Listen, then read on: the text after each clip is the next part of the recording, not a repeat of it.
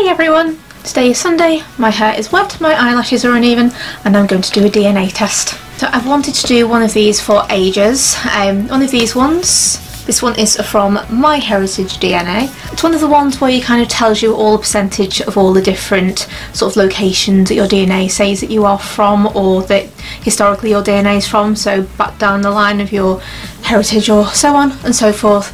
Either way, it's DNA test. I went with MyHeritage as opposed to Ancestry.com because for one MyHeritage do it a little bit quicker, they reckon about two to four weeks to get your results and they were also on sale so I got two. The other one is for my boyfriend so we have one for me, one for him and I think I kind of have an idea of where some of mine is going to be from because I know that I have Irish descent on both sides of my family. Although I suspect that his is actually going to be slightly more interesting than mine because apparently his lineage goes back to like Spanish pirates and things like that. So if his is more interesting than mine, I'm not going to be happy, but it'll still be a very interesting and kind of exciting thing to do. Now these boxes are actually really posh because they do this. I think that's quite cool. So I need to go and set this up online, which I will do once I finish filming. Let's have a look and see what's in here.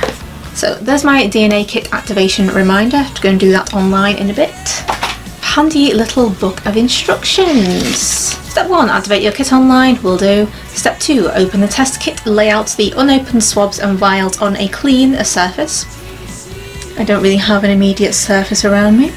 Step 3. Remove one cheek swab from its wrapper. Use the swab head to scrape the inside of one of your cheeks whilst rotating the swab for 30 to 60 seconds. Open one vial, insert the swab inside, swab end down.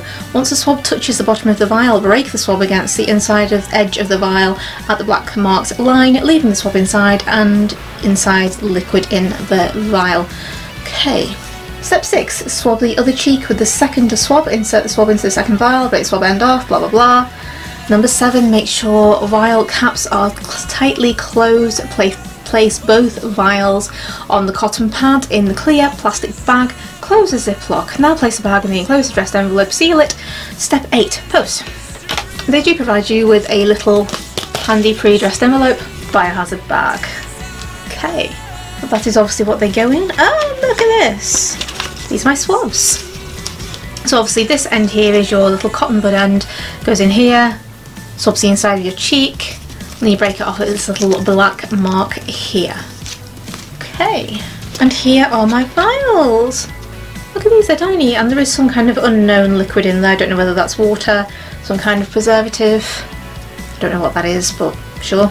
So I'm going to do mine, and then my boyfriend will be doing his off camera and they'll be, go be going in the post tomorrow. Right, so this is going to get awkward now because I am obviously devoid of any realistic surface to put these on. Probably should have thought this out a bit better. Sterile flocked collection device. It, it's basically a cotton bud. Okay, so I feel like I've watched enough like true crime dramas and stuff to know how this goes.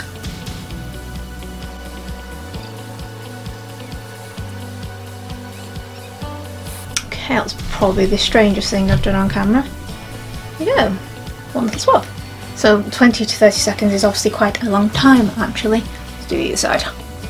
A really, really, really awkward. Swab number two. Okay, so there they are, my little DNA samples. If anyone wants to intercept the post at any point and steal those so you can clone me in the future should you that take your fancy, well, two little lots of my DNA. And spit, which is gross. So they're going in the post tomorrow, should get those back in about two weeks time. I'm going to go and do my boyfriend's now, obviously he's not going to do those on camera. But I will see you guys hopefully in not too long for the actual results, which I'm dead excited for. Hey everyone, DNA results are ready. So it actually took a quite a bit longer than I was expecting for these to come back. My boyfriend's came back really quickly. Mine have taken weeks, although they have been sat in my inbox for a while because I was too ill to film for a bit. So his came back and they weren't as kind of exotic, is that the right word to use, as we were expecting. His are basically 100% Irish, Scottish and Welsh.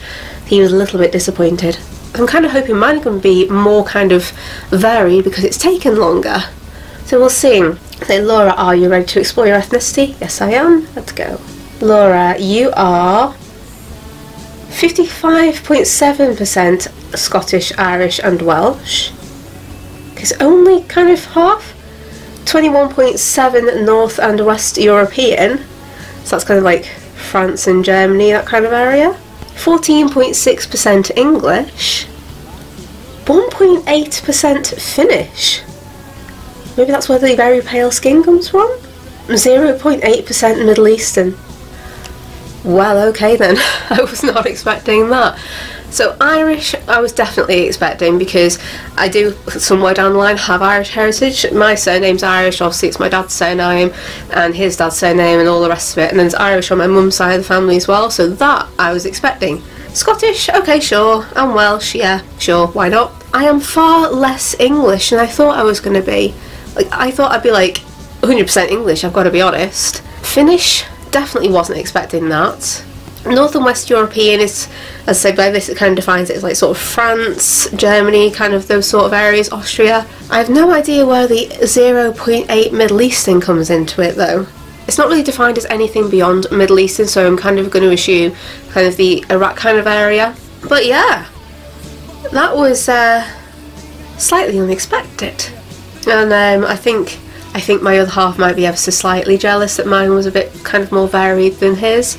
I know he was disappointed. I'm not disappointed, or as I'm just kind of puzzled as to where the Middle Eastern comes in, because as far as I know, I'm just English as fuck. so yeah, there you go. That was me doing a DNA test. Um, would I recommend these? I mean, I guess you think if you know that you kind of do have like a really varied heritage, then it probably could be really interesting.